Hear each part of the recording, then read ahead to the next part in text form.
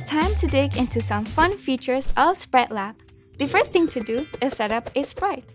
To add a sprite, you can use the Make a New Sprite block. This block lets you give your sprite a name, a costume, and a location.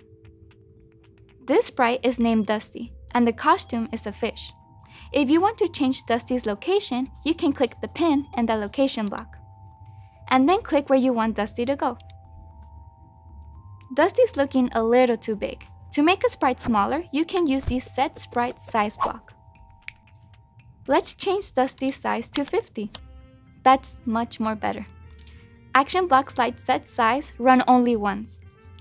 Now let's get Dusty moving by using a behavior. You can start by giving Dusty the spinning right behavior. Once the behavior begins, it will run over and over again forever or until you tell it to stop.